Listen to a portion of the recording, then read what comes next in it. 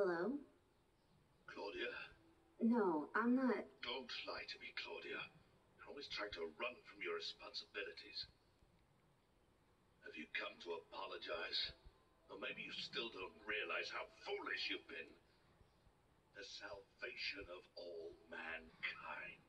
God, what a ridiculous dream. Wait, just listen to me for a second. I've heard enough from you already. How did you turn out this way? Where did I go wrong? Listen to me already.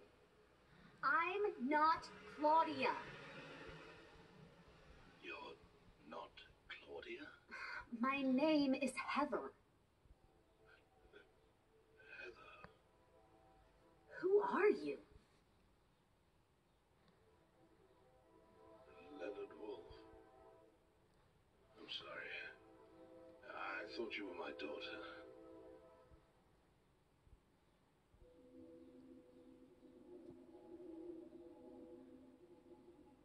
Claudia is your daughter? Oh. So you know her, do you? Are you one of her followers? No, never. When I find her, I'm. Oh, I can feel the hatred What?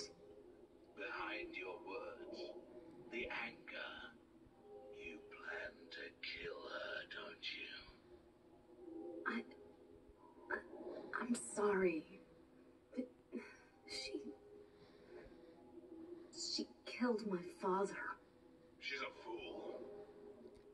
But she's still my daughter. I was going to forgive her if she changed her ways.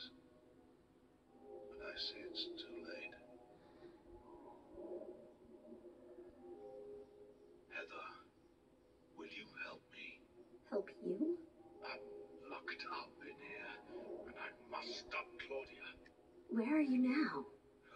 Not sure myself, but the door is at the end of the hall on the second floor. I think I can be of help to you. I have a seal. Please. A?